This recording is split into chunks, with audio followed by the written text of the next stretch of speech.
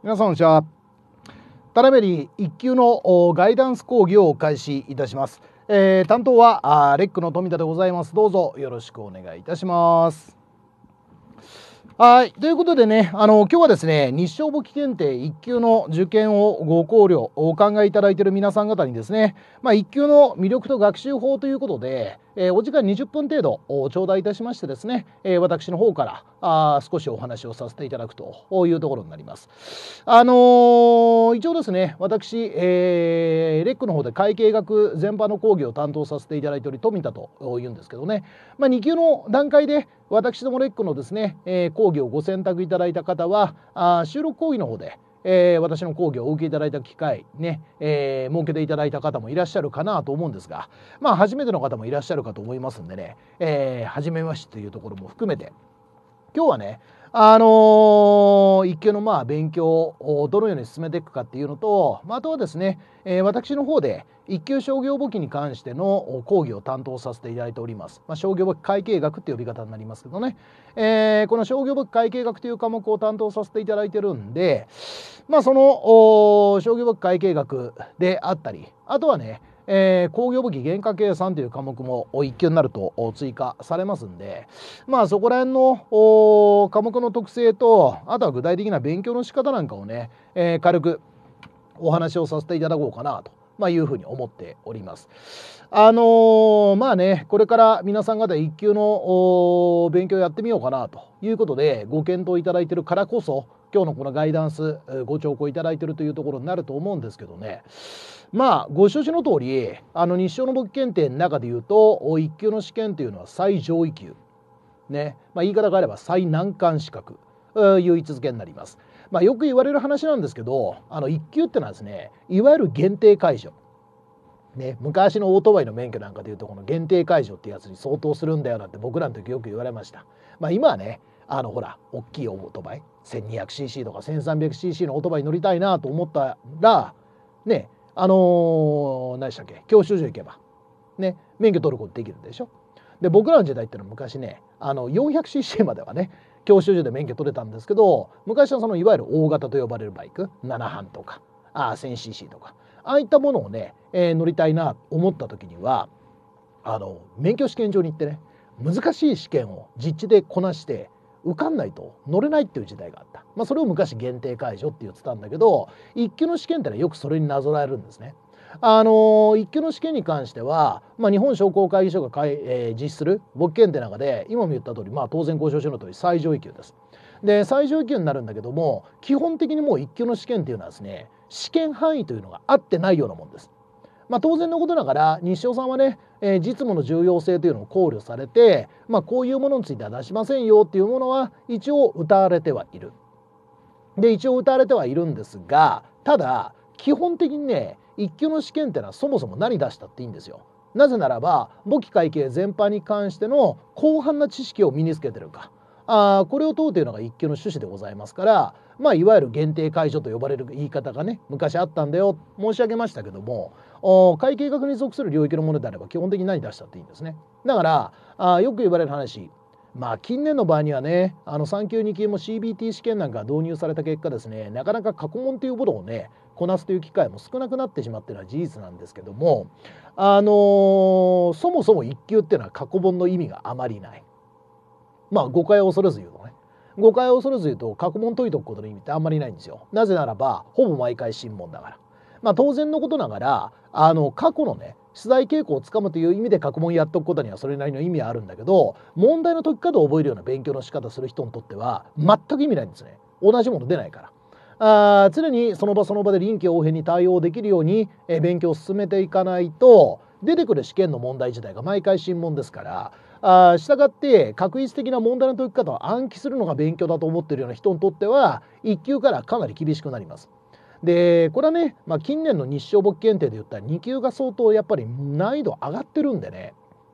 確率的な暗記だけでやっぱり受かりにくい試験になってますから、まあ、2級の勉強をしていただく時にもねちゃんと内容を理解して、えー、その場その場で臨機応変に対応するということを身につけていただいている方が多いと思うので、まあ、そういう意味ではね1級になっても、まあ、基本のスタンスはそれと一緒、まあ、ある意味それがもう少し強くなるっていうのかな。あその場その場で、えー、見たことない問題に対応する能力っていうのを身につける、えー、こういう勉強の仕方をやっておかないと厳しいよっていうのが、まあ、一級のあるべき姿だろうし今の現在の置かれてる状況なんですね。でやっぱね一級っていうのは今の話に戻るんですけどもとにかくやっぱり対応力その場その場での臨機応変な対応力というのは求められます。じゃあ臨機応変な対応力これを身につけるためには何が大事かもうこれは言わずもがなんですけど基礎をしっかり固めることです。基本と言えるような論点をしっかり固めてねやっぱり、えー、ベーシックなあ部分についてしっかりと点数を積んでいけるような形でのまず勉強をしていくというのがとにかく大事。なぜならば基礎の部分が固まってないのに応用なんかできるわけないんですね。もっと言うと自分の中で土台がしっかり組めてないのにいきなり臨機応変に対応しろって言ったって無理でしょだって土台がないんだから土台がない人に臨機応変な対応なんかできませんだから1級などの上位になればなるほどねあのベースとなってくる本当に基本的な処理論っていうのが重要性高くなります。例えばですよ皆さん。1級の試験に関しても有形固定資産とか無形固定資産に関する話有価証券に関する話現金預金に関する扱い例えば現金過不足とか銀行勘定調整法とかああいった話って出るんですよ。全然試験出ますよ。だって実務上必要ですから。あ規模の大小はあるかもしれないけどどんな会社だって有形固定資産が全くない企業なんかありませんで有形固定資産は、まあ、一番代表的なのはやっぱり不動産になると思うんですね土地建物なんかそうだけどもああいったものであったりとかあとはまあメーカーさんであればよ生産設備としての機械なんかあるでしょこれは莫大な設備投資費用を必要とするものなんですね。でその有形固定資産に関しての明確な管理をするだけの正確な知識を身につけておかなければ当然事実務入った時にこれ支障が出る。ね支障が出るに決まってる。当たり前でしょ。だってまあ工業簿原価計算の世界になりますけどメーカーにとってはどういう設備を選定しどういった設備を能力として維持しそしてどのような形で生産計画を立案しそれを実行するか。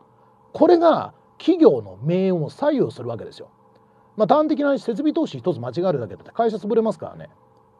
潰れますよ全然。あのだって設備投資を誤るってことはあこっちの方のが良かったのに判断誤ってこっちにしちゃった。じゃあ次の年に取っ換えようぜできますかって話です。何千億円もかけるような設備投資をするわけですから一旦やっちゃったらそれをね回収するべく企業運営やっていくしかないわけですから企業の長い目で見た時の存続にまで影響しかねないのが設備投資の意思決定なんだよね。っ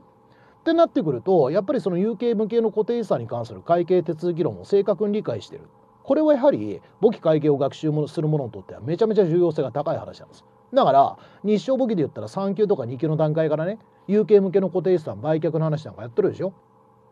ねまあもうそんなのできるよって方多いと思うんだけどもああいうの1級の試験出るんですよ。全然出ますよ。全然出ますけどそういう論点こそまず確実に対応できるようにするってのは絶対必要。端的な話。日照簿記でいうとこの3級2級で見たことある論点が1級レベルに引き上がりましたと。こういう部分については出題された時に全部取り切んなきゃダメなんです。間違えちゃダメなんですそういうことがちゃんとできるように準備をすることが大事なのすなわち何が言いたいかっていうとねあのとかくですね1級になってくると新しく出てくる論点追加される論点っていうのは確かにある確かにあるんでそういったところにやっぱり目が向くっていうのはもう仕方がないところではあるのかもしれないけどそっちばっかり見る人って結構いるんですよ。やれデリバリブの処理だ。やれ応用度の高い連結の処理だ。ね。別にそれができなくていいって言ってんじゃない。そういったところに興味を持つのは大事なこと。大事なことなんでそれは悪いことじゃないんだけどただものには順番がある。3 2級でやっていただいた話がい？まだに正答率が7割8割だという状況でですよ。ね、今の例じゃないけど1級になるとデリバティブの処理なんか入ってきます。よくご質問もいただくし、やっぱり不安を感じる方も多い論点なんだけど、デリバティブだ、デリバティブだって騒ぐ人ほど大体そうなんですけど、3、2級でやってる論点の正答率って大体7、8割で終わってるんですよ。低いよ、8割なんて。ダメでしょ、そんなの。だって、変な言い方になるかもしれないけど3級入級の受験生さんだって同じような問題解いてるんだよ。それを相も変わらず間違ってんのにやれデリバティブがうんちゃらかんちゃらなんて言ったって受かるわけないじゃない。だって土台の知識が固まってないのに大井戸の高いもんなんかどうせできませんよ。それは問題の解き方覚えてんだけで出題の資料を変えられただけでもう解けなくなるんだから。そういうことですよ。だから工藤だけど1級ぐらいになってくるとその場その場で臨機応変に問題対応しなきゃいけないんで問題の解き方暗記するような勉強やったって意味ないんです。そういうことじゃない。やっぱり個々の事案に正確に対応できるようにするために基礎をしっかり固めることが重要。でその中でやっぱりね非常に難易度の高い問題なんか1級ですから普通に出ます。普通に出るんですがあんまりにもね難易度の高い論点になってくると逆に言うとそれみんなできないんですよ。じゃできないよというふうになった時にどこで勝負つけるの？言うとこれは間違いなく土台のとこなんです。だから今言った日照簿記の3、2級なんかで見たことあるような論点が1級レベルに引き上がってるような問題もうこういったところができるっていうのは大前提な受かるためにそういったところがちゃんと取り切れる人はやっぱり受かるし逆に言うとそういったところでちょろちょろちょろちょろミスる人っていつまでたっても結果出ない。でこれねやっぱり1級の合格戦術っていうのを今日のテーマとして挙げてるんで1級受かるためにまず何が大事ですかって言ったら間違いなく3、2級でやってるようなあ伝統論点基本的論点ですよねこういったところの正答率を限りなく100%まず近づけることです。でそれをしっかりとやった上でプラスアルファ1級の授業の中で新規論点として出てきた部分についての対応を図れるようにする。ね、それをしっかりと心がけていかないとダメ。ね、だから工藤用だけどこんなの2級でやったからもうできるよ自信を持つのはいい。だ自信を持つのはいいんだけども結果が伴ってなければ意味はないわけでやっぱそういう論点についての確実な対応っていうのは常に意識をしていって勉強っていうのは進めていかないと1級ぐらいの試験になってくる厳しいんですね。でなぜこれを僕はやんやんやんやん言うかっていうと3級2級1級と、まあ、多くの方々はランクアップしながら簿記の検定受けてきていただいてると思うんだけどいいですか？これから皆さんがご検討されてる1級の試験ね1級の受験とですよこれまでやってきた3、2級は根本的にもう別物です。そこを明確にまず分けましょう。でねまあちょっと最近の2級は本当に難しいのであのー、あんまりそういう感覚は僕もなくなってきてはいるところはあるけどもただね基本的にですよ。基本的に3級2級ってのは落とすための試験ではないのは前提ではあるんです。特に3級なんか顕著でしょ。3級の試験はやっぱ基本的には落とす前提の試験になってない。で2級もね時にえらい難しいのが出たりするからあれだけどもただ基本的なスタンスとしては落とすための試験ではないんです。その証拠によ合格率がやっぱり3級だったら40%超えるとか2級でも30%以上の合格率が出るとかそういう試験の回数のが多いわけですね。時にはうんと下がる時もありますけど基本的にはそういうスタンスなんです。で年間通じて考えれば CBT 含めてやっぱそれぐらいになってる。で3割4割の合格率が出るっていうのはやっぱり受かりやすいんです。で受かりやすい試験なので落とすための試験ではない。ね、で落とすための試験ではないので特に CBT は分かりやすいあのネット試験ってやつが分かりやすいんだけど3級2級ってのは合格水準が7割って決まっててね7割に達した段階でもう無条件に合格なんですよ。すなわち自分一人との勝負なの。ね、自分の中で100点満点の試験の問題解いて70点超えるか超えないかだけそこだけを考えて試験の勉強をやればそれでいい。ね、それが3、2級なんだけど1級からもう決定的に変わります。1級はご承知の方も多いと思うんですけどこれ競争試験になりますんでえ？競争試験になります。あの CBT みたいにですよ確率的に7割超えたらはい合格ってそういう話じゃないですよ。もうちょっと正確に言うと1級の試験って非常に難易度が高いまあいわ難しいんです。難しいからねなかなか初回に回答をやった段階でトータル70点で超えないことが多いんですほとんどの人が。えじゃあどうすんの？これ要は最終的に配点調整下駄履かせるんです。で下駄履かせることによっておおむね合格率が10%前後になるようにこれ間違いなく調整やってます。やってます。いというのもこれ論より証拠なんだけどねあの1級の試験ってね毎回毎回これ難しいねっていう問題もあれば比較的ベーシックだねっていう問題も相変わらずですけど混在してます。で混在してにもかかわらず毎回の合格率ほぼ10%で一定なんですよ。で10%で一定になってるってどうして？問題の質的に解きやすい問題もあれば全然手が出ない問題もあるんだよ。にもかかわらず合格率が10%でほぼ確率的に出てる。どうして？理由は簡単です。配点調整やってんからです。で配点調整っていうのは最初の採点の段階で70点超える人を落とすようなことはしません。ただ70点超える人って全体の10%もいません全然。いないです、えー、全然いないんでじゃあどうすんの？加点調整するんですよ。下駄を履かせるって言うんだけど。ねでこれは日照さん公表してませんので大っぴらには言ってないけど間違いなく加点調整ですで間違いなく加点調整してるね、でその前提でおおむね10%になるように調整していきます。ってことは1級はほぼ実質的に競争試験なんです。で競争試験であるということは皆さんは上位10%に入れるように勉強しなきゃいけない。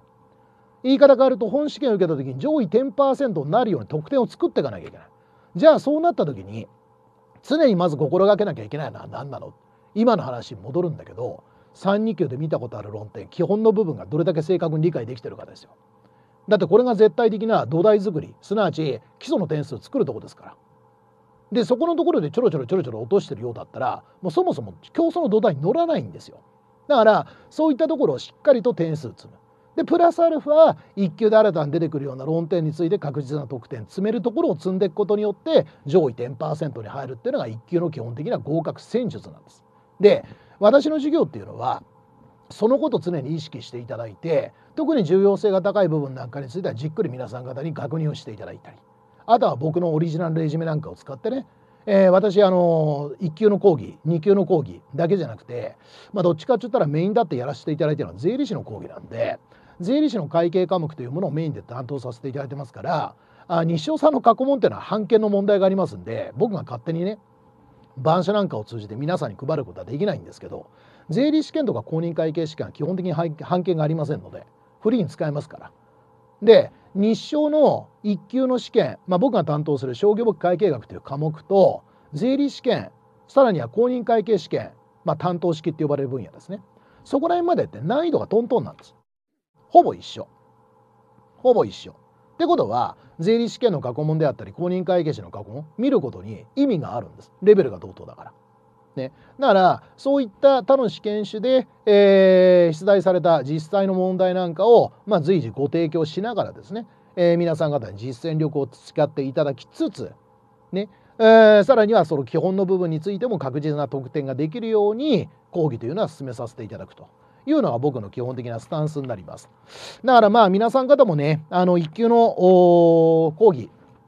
ご参加いただくということをご検討いただいている今だからこそあえて僕はお伝えしたいんですけども、まあ、1級からは本当にもう試験の採点の内容が変わります。競争試験です。だからちょっと言葉は汚いですけどもあのある意味ちょっと腹くくっていただかないと。ね、えー、自分のやるべきことをこなす。日々の勉強は当然そうなんですよ。日々の勉強は当然そうなんだけどやっぱり最終的に本試験のことを考えたら自分だけの問題じゃなくて周りの状況を考えないと。要は周りのライバルたちに打ち勝って上位10%に入るってことはやっぱ大事。なのでね、えー、そういう試験に自分は最終的に挑むんだと。いうことを一つ念頭に入れていただいてご検討いただくとよろしいんじゃないかな。というふうに思います。まあ本当に最難関の試験の一つですよ。一級の試験っていうのは。あまあ余談になりますけど私が担当してると申し上げた税理士試験税理士試験の僕会計科目というのを担当してるんですが、まあ、大体あの1級の学習を終えられた方ね、1級合格した後に、えー、私の税理士の方にそのまま来ていただく方非常に多いんですけどもまあ全員とは言わないですけどね9割5分ぐらいですね。95%ぐらいの方々は1級合格の場合まあその後に税理士入っていただいてもほぼ受かりますね。ほぼ受かる、まあ、時には失敗してしまう時もあるけども多くの方々ほぼ受かりますなぜならば1級で培った能力があれば相当高いとこまでもう行っちゃってるからえー、税理試験の内容で言ったらまあ僕の感覚で言ったら6割から6割5分7割ぐらいまでいってもいいのかな7割ぐらいはもう重複するんです。ってことは税理士の勉強入った段階でも7割から勉強終わってるんですよ。あと3割のところをしっかり固めながらよすでに勉強終わってる6割のところを順次応用度を高めていくような勉強すればいいんでゼロから勉強しなきゃいけない一般の受講生さんに比べれば税理士の受講生さんに比べればもう圧倒的に有利ですから。だからみんなそれぐらいねシュッと受かっていくで逆に言うと1級合格するまでにはそれぐらいまでの範囲の勉強はしなきゃいけないってことだから決して楽なことではない決して楽なことではないけどもただねまあ僕なんかが言う必要もないかもしれないけど1級っていうのはあ日本商工会議所といってですね経営者団体が実施してる簿記検定ですよ。ね。で今みたいな世の中のこと考えていただければもう皆さん重々お分かりだと思うんですけどもやたらめったらコストは高い。資源高で為替の問題だってどんどんどんどん円安が進行している。ね、でさらに言えばですよ従業員雇用にしたって社会保険料の企業負担はどんどん増えてる。でこういった高コストな状況の中で企業というのはやはりですね利益というのを生み出していかなきゃいけない。じゃあそのためには何が必要って言った時により良いサービスを提供するとかより良い製品を提供する当然これは必要です。ただそれだけではもう企業って回らないんですね。結局のところ会社を運営するためにはうまく事業を回すためのファイナンス資金作りっていうのは必要になる。で資金作りのための一つの技法として例えば株式発行による上司をするとか借り入れによって資金を調達するとかいろんなことあるけどもどれを採用するにしたって適宜適切な会計行為が実施された上でよお金を出してくれる人たちが納得してくれるような財務諸表作りというのができてなければ当然それはできないわけですね。だからコスト管理の側面からしたってそうだし、えー、財務会計っていうんだけど情報伝達の部分についてもそう。ね、これからの世の中っていうのは間違いなく企業会計に関する需要っていうのは高まることあったって低くなること絶対ないです。え？もうこれだってあの極端な言い方すると有能な会計マン経理マンがいる会社とそうじゃない会社製造業なんかいい例ですけどねこれは顕著に差が出ますよ。優秀な経理マンが多かったそれが一つの要因となってえ？かつて厳しい状況に置かれてた会社が今やリーディングカンパニーになってる業界なんかいくらってあります。そうでしょ？えー、例えばですよ僕はもう尊敬してるからこそ申し上げるんですけどアサヒビールさん皆さんもご承知じゃないですか。ねアサヒビールさん。アサヒビールさんはかつては本当に経営が厳しくてねアサヒじゃなくて夕日ビールなんて言われた時代もあったんですよ。それぐらい厳しい。昔から美味しいお酒は作ってたんです。技術は高かった。ただやっぱりあのファイナンスなんかの部分がうまく回んなかったりいろんな問題があってなかなかね厳しい条件を置かれてたんだけども、まあ、その時にですね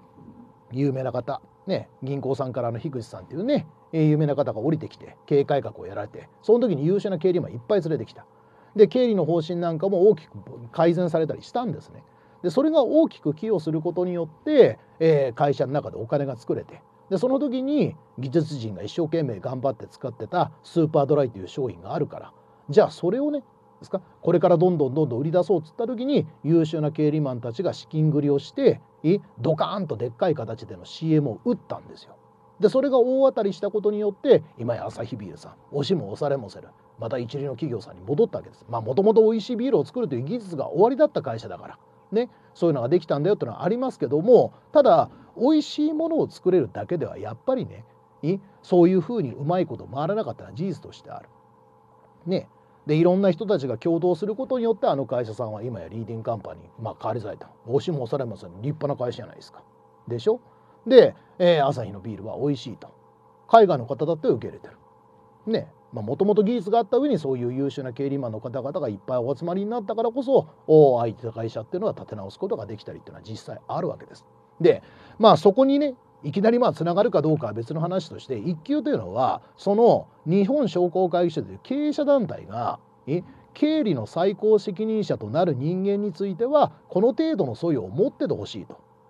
いうふうに考えて実施しているのが勃検定の一級です。一級というのは最高、えー、最高責任者。経理に関する最高責任者ですからいわゆる最高財務責任者 CFO ってやつですね。それになるための基礎的素養があるかどうかを認定しようというのが趣旨です。別に1級勝ったからってすぐ役員になれるわけじゃないですよ。ただ1級の求める能力ってのはそれになるための基礎的素養まで身につけてるかどうかを認定しましょうっていうのが一般的に言われる話。ね。だから当然のことながら1級勝ったからすぐ役員になれるわけではないけども役員として最低限必要な知識ぐらいまでは身につけましょうよと。いうのがスタンスとして実施の上でね歌われてるものになりますから当然のことながら、まあ、皆さんだって会社のことをイメージすれば分かると思うんですけど財務責任者最高財務責任者 CFO ってのは大体会社で言ったらナンバー2でしょ？ね。まあ、どこだってそうです昔は日本語で言ったら大番頭って言われたんですよ。ね。お金に関する責任者ってのはどこの会社にいたってこれは海外だってそうですけど少なくとも本当にトップのトップのトップなんです。ね。でトップのトップのトップで、まあ、メインとなってくる CEO がいてそれを補佐するのが CFO ですから。でしょ？それになるための基礎的素養を認定しようっていうんだから勉強としては難しいに決まってるんです。だから決して楽して受かるものではない。楽して受かるものではないけども1級ぐらいのやっぱり高度な専門性を身につけて浮いていただくというのは、まあ、これから皆さん方がね社会人として、えー、いろんな場面で仕事を進めていかれるにあたっては決してマイナスになることなんか絶対ないですから経理に関しての需要が低くなることはないです正確に言うと高度な専門性を帯びた経理マンに対する需要が下がることはありません。高度な専門性ですよ。で逆に言うとねあの入力だけやってますみたいな方々は、まあ、こんな言い方失礼かもしれないけどだんだんだんだん正規社員としての椅子はだんだん厳しくなると思います。正直言って。それは間違いないです、えー、そうじゃなくてやっぱりコアな人材ですよね。企業の中枢で企業運営に携わるようなコアな人材に関する需要っていうのは下がることは絶対ない、まあ、これは他の仕事でも何でもそうだと思うけどね。やっぱり、まあ、比較的多くの方々が従事できるような仕事っていうのはだんだんだんだんやっぱり限られてきますよ。ね、ただ経理マンっていうのは企業運営の要ですからこれがなくなることなんか絶対ないです。絶対ないですから高度な専門性を身につけておけばこれは将来皆さん方がご飯食べるための糧に絶対なります。ね、だから皆さん方一級を一つご検討いただいてるっていうのはそういう意味でもね非常に妥当なご選択だと僕は思うし、えー、大変な勉強だとは思うけどもやっていただく価値は十分あると思います。でその皆さん方のね合格をしていくんだと一級取ってやるんだという気持ちに応えるべく私どもの最大限の努力はさせていただくということはお約束をさせていただきたいと思いますんでまあ講義としては私の方で商業物会計学を担当させていただきますし、えー、工業物原価計算は寺内先生というですね女性の先生です。ねまあ、若い女性の先生ちょっとおっさんばっかだとあれだと思うんで あの若い女性の先生がご担当してくださるんですが彼女は非常に優秀です。まあ、私もあのそんなに長いというほど選ばれる年数やってないんであれですけど私もまあ一応講師としては二十数年やってます。で二十数年やってますが私が見てきた中でも非常にですねクレバーな先生だと思います。優秀な方です。でお話も分かりやすいしね、えー、その寺内先生と組ませていただきましてですね一級の授業の方を担当させていただくというところになりますんでまあそれぞれ講師の色はだいぶ違うとは思うんですけどもねあの私の方で商業物会議学で寺内先生の方で、えー、工業物件化計算担当していただいてまあそれで初学者向けのクラスっていうのをまずやります。でそれとは別にね学習経験者向けのクラスっていうのを、まあ、超ベテランです吉沢講師というね、え、講師がいらっしゃいますんで彼の方で担当していただくという形になりますんで。で私どもレックとしてはやっぱり難関の1級試験に無事皆さんに合格していただくということを主眼に置いてますんであの一応ですねちょっとこれ細かくはパンフレットぜひお取り寄せいただいてご確認いただいたりデジタルパンフで確認していただきたいんですけどこれ私どもレックの大きな特徴です。ね、一級の講義というのはそもそもですか？試験自体が難関試験ですから1回目で結果が出ないこと、まあ、当然1回目で受かっていただくように勉強はしていただくし講義もするんですけども残念ながら1回で結果が出ないことってありえます。で従来であれば皆さん方が目標とする検定試験までのクールしかね一つの講座をお申し込みいただくと講義等を受けていただくことできなかったんですが、まあ、そもそも1級の難易度の高さっていうのがやっぱり際立ってきてるところもあるので私どもレックでは今2検定分の講義と答練ですねこれを1回のお申し込みでセットでお受けいただけるようになってます。要は保険が1クール分ついてるってことです。1回目で無事検定合格していただければ何の問題もないんですよ。ただ今までですと2回目の試験じゃあね1回残念な結果になったから2回目次ね、どうやって勉強しようって言った時にもう一回別の講座をお申し込みいただかないといけなかったんで学費の負担がでかかったんです。で学費の負担がでかかったんですけどもまあそれはねやはり1級という試験の難易度を考えた時にちょっと酷だろうというところもあって、まあ、今回、ね、今回というかまあ長いことこれやってるんですけども皆さん方には2クール分兆候と答練していただけるようにシステムを組んであります。まあその代わりと言ったら何なんだけどもあの極力ですね皆さん方にご負担をおかけしない形でこの2講義分2クールの兆候をしていただけるようにということで私どもコスト管理をしなきゃいけないんであのその分申し訳ないけど通学のクラスというのは止めてます。基本的に1級の授業はもうウェブだけなぜならばもう皆さん方日級の経験ある方お分かりだと思いますけど当然のことながら教室を確保して講師を派遣して授業を運営するということはそれだけでまず固定費がかかるんですね。で固定費の部分は当然原価として上乗せしなきゃいけなくなりますから受講料が高くなっちゃう。でもそれでもいいよって方もいらっしゃるかもしれないけどもやはりね今みたいな世の中の状況を考えた時にねやっぱり毎回毎回試験受けるたびに授業を申し込めなきゃいけない。それは経済的負担も重いので。だったらまあ皆さん1回限りといえば1回限りかもしれないけども保険としてね保険としてもう1クール分はつけますと。ね、その代わり申し訳ないけども授業としてはウェブ講義をメインにしてくださいと。